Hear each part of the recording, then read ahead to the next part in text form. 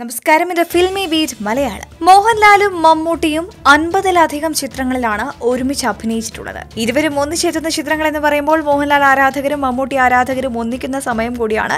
ഇനി ഇരുവരുടെയും ചിത്രങ്ങൾ നേർക്കുനേർ തിയേറ്ററുകളിലെത്തുമ്പോഴോ ആരാധകർ തമ്മിൽ വലിയ പോരാട്ടമാണ് സോഷ്യൽ മീഡിയയിൽ ഉൾപ്പെടെ നടക്കാറ്.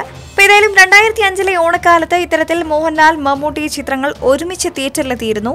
മോഹൻലാലിന്റെ നരൻ മമ്മൂട്ടിയുടെ നേരെറിയാൻ സി എന്നിവയായിരുന്നു ആ ചിത്രങ്ങൾ. ഓഗസ്റ്റ് അവസാന വാരം തിയേറ്ററിലെത്തിയ ദിലീപ് ചിത്രം ചാന്ത് പൊട്ടും ഈ സമയത്ത് പ്രദർശനത്തിനുണ്ടായിരുന്നു. സി ബി ഐ ഓഫീസറായ സേതുരാമയ്യരായി മമ്മൂട്ടി നാലാമതും എത്തിയ ചിത്രമായിരുന്നു നേരറിയാൻ സി ബി ഐ. മൂന്നാം ഭാഗം ഗംഭീര വിജയമായിരുന്നു. അതുകൊണ്ട് തന്നെ പ്രേക്ഷകർ ഏറെ പ്രതീക്ഷയോടെയാണ് തിയേറ്ററിലേക്ക് എത്തിയത് നരസിംഹം രാവണപ്രഭു എന്നീ ചിത്രങ്ങൾക്ക് ശേഷം മോഹൻലാലിന്റെ ഹീറോയിസം നിറഞ്ഞു നിൽക്കുന്ന കഥാപാത്രങ്ങൾ തുടർ പരാജയങ്ങൾ ഏറ്റുവാങ്ങിയിരുന്നു. അതിന് പിന്നാലെയാണ് മുള്ളൻകൊല്ലി വേലായുധൻ എന്ന കഥാപാത്രമായി നരനിൽ മോഹൻലാൽ എത്തിയത്. ജോഷി സംവിധാനം ചെയ്ത നരനും അത്തരത്തിൽ പരാജയപ്പെടുമോ എന്ന ഭീതി ആരാധകർക്കുണ്ടായിരുന്നു. എന്നാൽ മോഹൻലാലിന്റെയും ജോഷിയുടെയും കരിയറിലെ ഏറ്റവും വലിയ വിജയങ്ങളിലൊന്നായി നരൻ മാറി. ക്ലാസും മാസും ഒന്നിച്ച ചിത്രം നേരറിയാൻ സി ബി ഐയെയും ചാന്തപൊട്ടിനെ പിന്നിലാക്കി. അപ്പോൾ നേരറിയാൻ സി ബി ഐ ആണ് രണ്ടായിരത്തി അഞ്ചിലെ ഓണക്കാലത്ത് നരൻ പിന്നിലാക്കിയത്. വാർത്തയോട് പ്രതികരിക്കാം ഒരു കമന്റിലൂടെ.